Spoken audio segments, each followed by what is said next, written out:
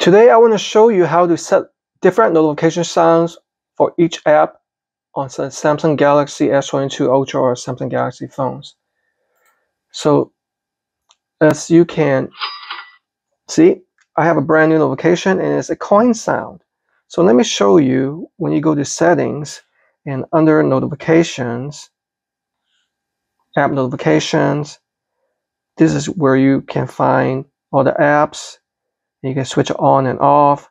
So let me just show you, for example, for my eBay, I have the coin sound, which is, and also for the email. So basically any notification comes in is using one sound. I don't like that. I want each app to have its own specific sound.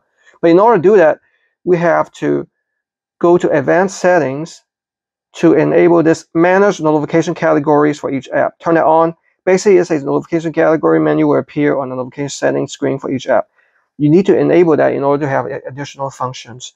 All right, so now I can go to my app notifications.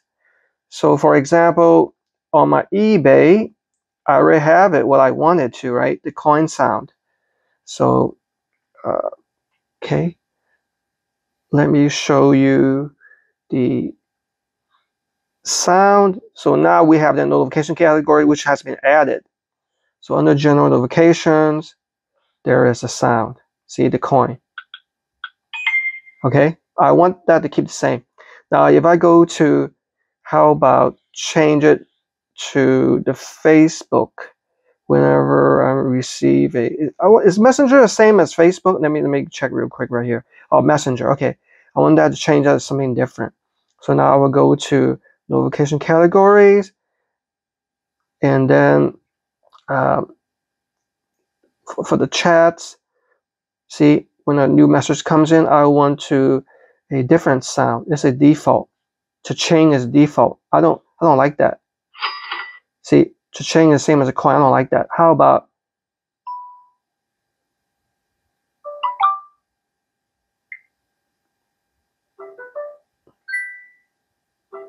See, I like that. So let me do one more, just to give you guys idea. So it's going to take a little bit of time, but this is how you would do it. Okay. Uh, uh, let's say, for example, how about uh, when I get a, a Gmail here, Gmail, I want to change that. So the Gmail, I will go to notification categories under mail, sound. Now I can change it to something fancy. It looks good. So that's basically how you change notification sounds for each app.